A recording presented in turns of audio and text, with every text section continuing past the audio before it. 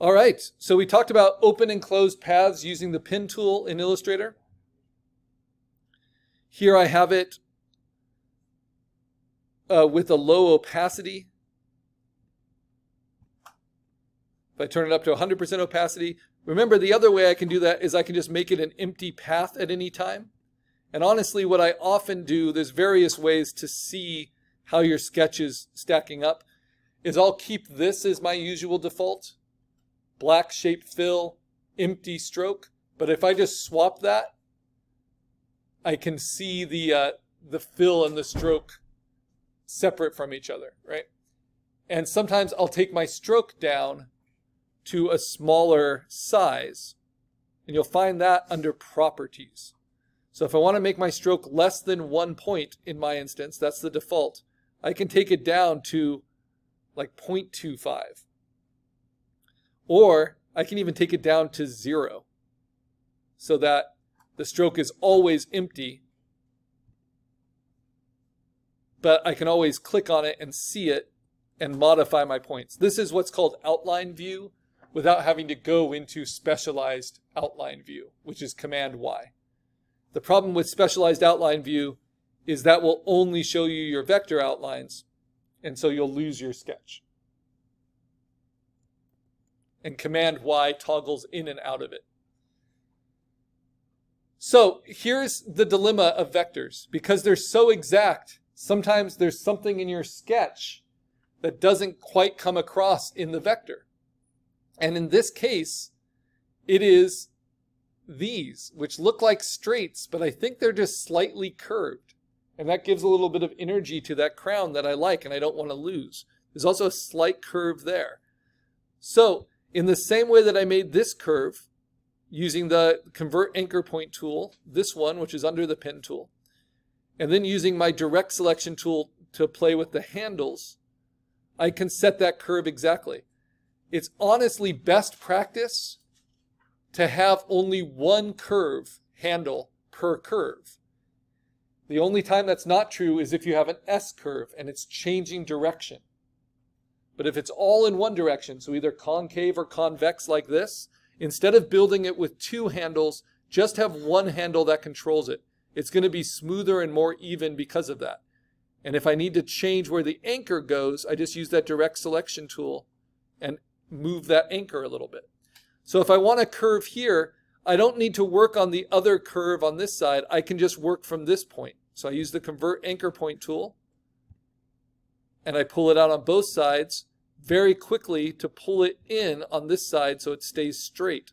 And then I have this handle to play with. And if I want it kind of lower, a lower curve, I just pull the handle out. The shallower the curve, the deeper it is, the further away from the anchor, the longer that handle will be. Sometimes these curves are incredibly subtle, but they're always there. But if they get beyond the anchor, then you start getting strange bumps. Right? So you always want to know what's creating, what handles are creating your curves. Then for this one, I'm going to play with the curve right here. So I use the convert anchor point tool. And there are shortcuts to all of these, but when you're starting out, it's good to just make yourself realize what tools you're using. Because I think the great downfall of Illustrator is none of it's intuitive. And they could make it more intuitive at this point, but people have been using Illustrator professionally for so long, they are not very welcome to change. The freeware version of Illustrator that I'm going to be using to teach the afternoon is vectr.com, V-E-C-T-R.com. It has all of the same functionality in a little bit of a user, more user-friendly way, where you just double click and it will turn the tool, things like that, show you your anchors. It doesn't have a separate full selection and direct selection, but it's the principles that you need to understand. And as long as we can get to a vector, we're good. So I think those are the curves I needed. So now I'm going to take that path, which is an empty path, right? I'm going to make it solid black deep in this lower right-hand corner. Know why that happened.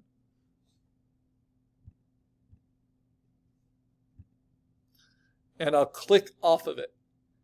Until I click off of it, I'm always going to see those the, that anchor line around it in a different color.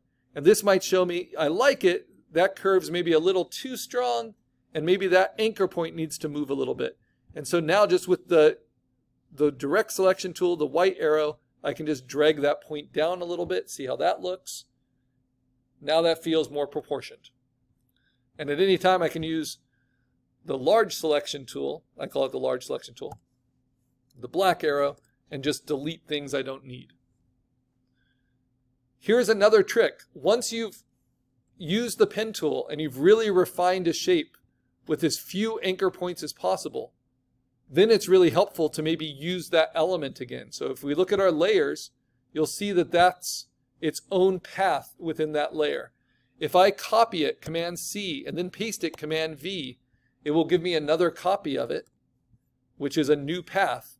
And then with the large selection tool, the, the black arrow, I can use this as a start for my wing if I wanted to. And in professional logo design, this is done all the time because it actually gives a balance to the design. Does that make sense?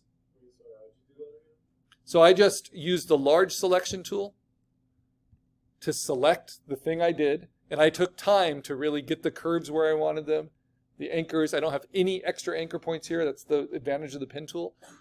Once you've done that, it's like creating a custom shape within Photoshop. I can just Command C to copy it, Command V to paste it, and now have this element, which with the large selection tool, I can just use the transform functions to make, rotate into anything I want.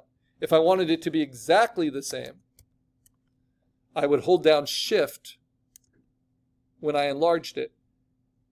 And in Illustrator, this is the opposite of Photoshop. When you hold down Shift, it locks the proportions. If you don't hold down Shift, it lets it be warped.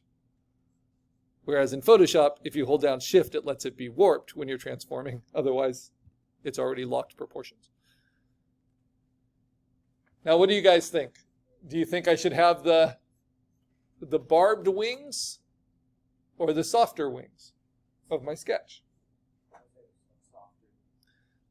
Fair enough. So if I want to save that as an option for later, instead of deleting those paths, because those paths take almost no memory, I can just turn them off with the eyeballs.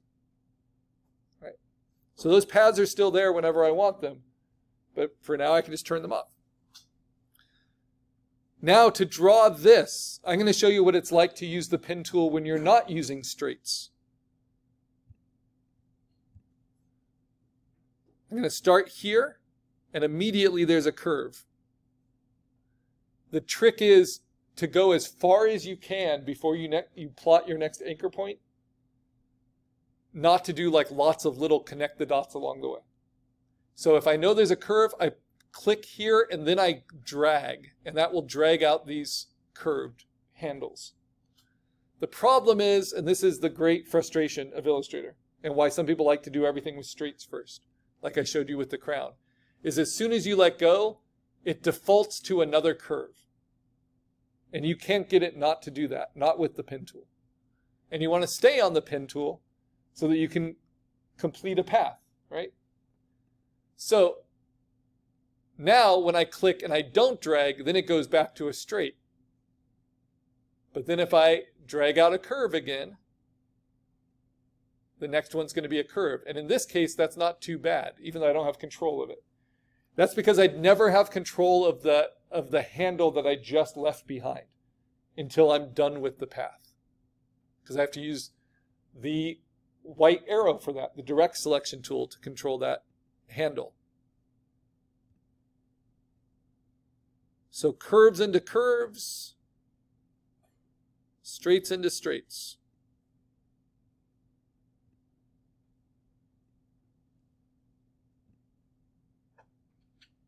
So if you find this really, really frustrating, which I often do, like in that instance, notice what's happening is the curve goes into a curve. I want it to be straight, but I can't control that yet. I want this to also be curved. It's really frustrating. but I'll be able to fix it all once I've plotted the, the points. Now, one trick is what I just did. So I'm going to go back. So you see it's going curve into curve. While you're still on the pen tool, if you click on the anchor point, it will then take the curve off of that side. So you get what's called a one-sided handle. And now I can go all the way over here and make that one curve. So you'll get a you'll get used to this. I want to do that again. I want a one-sided handle. And then for this, it actually looks like a straight. Straight into a straight.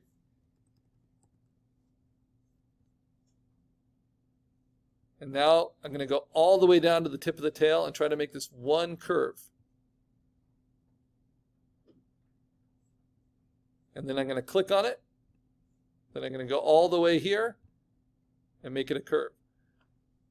So if you don't want to have to do it after the fact, like this curve is going the wrong way. So I'm going to click here, get rid of the curve on that side, and instead you just want one curve per side. That's why you want one handle per curve. Click there. It just has to depend on curves going into curves or not. But once you get some practice at it, it's not too tricky. Also, this happens. Remember how Illustrator wants to fill it as we go? So it's always connecting from my very first point to my very last point. Sometimes that will cut through. It will make it look like everything's twisted. It's all fine. It's just waiting until I get to my next point. So you just have to trust the process here. This is an example where you might want two curves because you have that S curve between the two. But most of the time, you want to just do this. Now, I can leave this as an empty path by clicking on a different tool. And I can pick it up later with the pen tool. So for instance, I might swap it, to select it, and then swap it so I can see my sketch.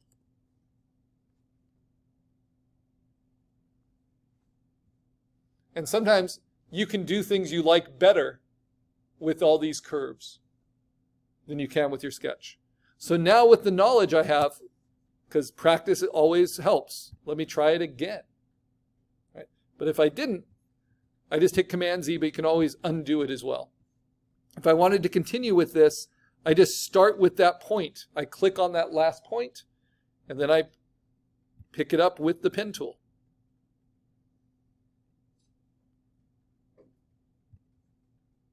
And I would recommend almost always doing it this way. Plotting your curves, clicking on the anchor, plotting your next curve or straight. And the only time you don't need to click back on that anchor to get what you want is when you're going straights into straights.